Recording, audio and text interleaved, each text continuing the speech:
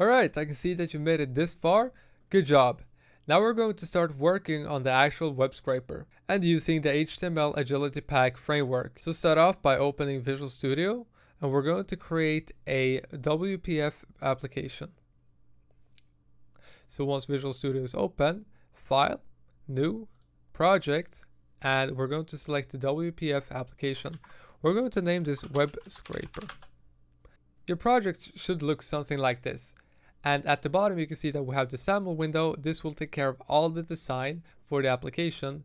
And then we have the actual project window up here and the solution explorer to the right and the properties down to the right. So I'm going to click this button right here, which is a vertical split. We're going to see the XAML code on the right hand side while we see the designer on the left hand side. I'm going to hold control and scroll down and that makes us zoom out. Alright, so to make it easier for you to read, I'm actually going to hold control and scroll up on the XAML window. I'm going to move the, the design window a bit to the left so we can see the XAML a bit more. Now, what we can start off by doing is we can change the actual title here on the window. So it's going to be the title property up here. And instead of main window, we can put hmm, my awesome web scraper. Perfect. Alright, so we're going to start off by creating two row definitions within our grid right here. So let's start off by doing grid dot row definition. Perfect. And we're gonna put two row definitions inside here. One having a fixed size and the other one's going to be kind of dynamic. So let's do row definition. Mm, we're gonna make it self-closed. Gonna put the height to 50. We're gonna control C, control V and this one is going to have the height of star, which pretty much fills up the rest of it. What this allows us to do is split the application up, the design, into two parts. So two rows, as you can see, this top part being, it's kind of hard to see. I'm actually going to demonstrate it with a background color uh, quite soon. But as you can see, it splits it up into two divisions right here. Once we're done with that, we're actually going to create two grids. Within here, we're going to create the first grid like so and then we're to create another one. Actually, we're to start with the first one, so we only have to keep track of one. So let's uh, remove the white space, like so. And we're actually to put the row for this one to, you see, grid.row 0. Since it's index based, we are using 0 as the first number. And just to demonstrate, we can actually put a background in here. So background property of, let's say, green. As you can see, it's split up into two parts. This is being the first part and it's green. We can remove that because I don't really like the looks of that. And we're actually going to start adding some some controls into this. All right, to start off, we're actually going to add a dock panel, and that's going to make sense in just a moment to why I'm using that instead of, let's say, a stack panel or another grid. We're using a dock panel because it's easier to dock the controls. All right, so let's start off by adding the menu control like so. Within this menu control, we want a menu item with the header of file. So header, file, nope, not filer, file. As you can see, it's one of these. Like the menu is the, the menu that we have up here. That's just like file, edit, view, etc. And now we want to add the actual item inside. So let's add a menu item. Again, this is kind of like the XML because this this is XAML. So it has like, you know, uh, a parent property, a, a parent element, and then a child one as well. So let's create another menu item within this one, a self-closing one. Header of, um, let's call this one export. We gotta be able to export the, the actual data that we scraped later. All right, that's looking good so far. Now, underneath our menu, we want to create a button. I'm going to make this a self-close button as well. So button as self-closed. Now we're going to add some properties or attributes. Uh, in C Sharp, it's actually properties. So let's start off with a name.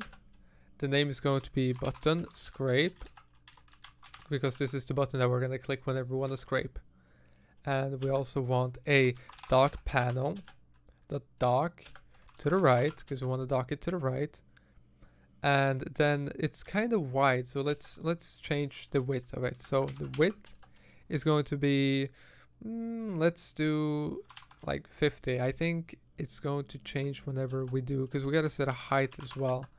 If I do 25, yeah, let's make it a bit, you know, wider and not so so square. Let's make it a rectangle and not a square. This is all design preferences. You can change this uh, design to whatever you want and you seem fit. So let's add some text to the button. We do that by adding the content property. And this is going to say scrape. It's kind of hard to see. There we go. Let's zoom that over there. All right, now that we have some text on the button, let's um, let's leave it like that for now. And let's add the text box that we're, because we're going to be able to add a link that we want to scrape. And we click scrape and it's going to scrape that link and parse it into a data grid. So let's go ahead and add text box.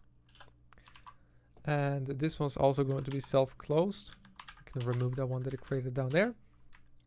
And let's do dock panel dot dock. Let's see, we're gonna dock this to um, to the bottom. If you're still unsure on how dock panels work, there are great tutorials on Google that you can look up that shows how the, the dock panel itself works. That's kind of a bit out of the out of the scope of this tutorial, but um, yeah, let's keep on going. So we gotta add a name to this as well, so we can identify it in the code later on. Let's call this text box TB short for text box, and call it uh, page. So TB page is going to get a height property of 20 and let's see let's add some some text to it right now so we can you know so it looks a bit better. Perfect. And uh, let's see what this looks like right now. All right it's starting to look better. I don't like the that it's this close.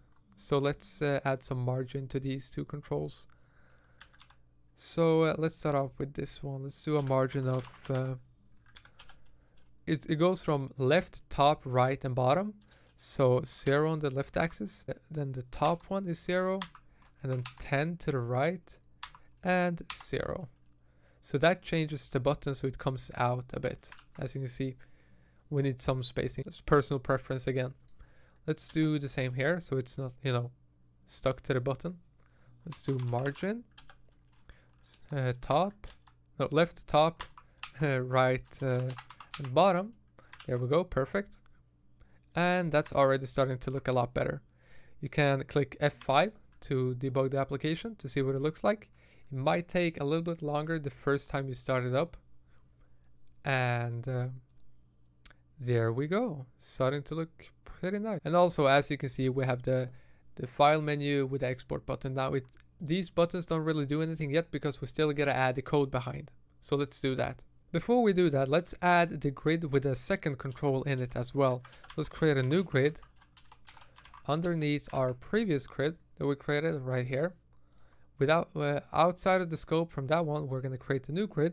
And within this grid, well, first of all, let's actually uh, assign the grid row.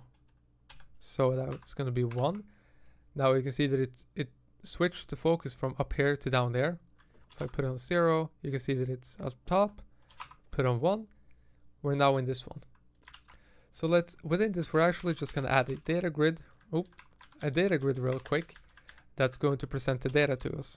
So data grid, perfect. And uh, this can actually be self-closed as well, because we're only going to data bind it.